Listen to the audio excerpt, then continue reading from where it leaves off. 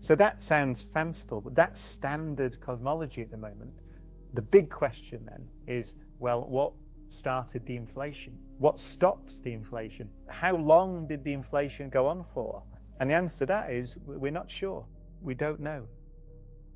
In the beginning, there was an infinitely dense, tiny ball of matter, which started to expand and would eventually give rise to the atoms, molecules, stars, and galaxies we see today. But what was there before the Big Bang? What was the state of the universe before, well, everything? The universe underwent a breathtaking cosmic expansion, doubling in size at least 80 times in the fraction of a second.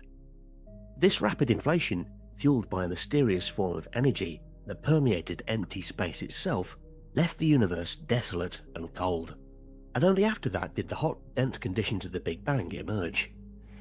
Some of those theories suggest that the inflation doesn't stop all at once, it stops in patches and every time it stops, you get a universe. And so some of these theories, they're called eternal inflation theories, suggest that there might not be just our universe, the bit that we can see, but there might be many universes, perhaps an infinite number of them, and they may be being produced all the time.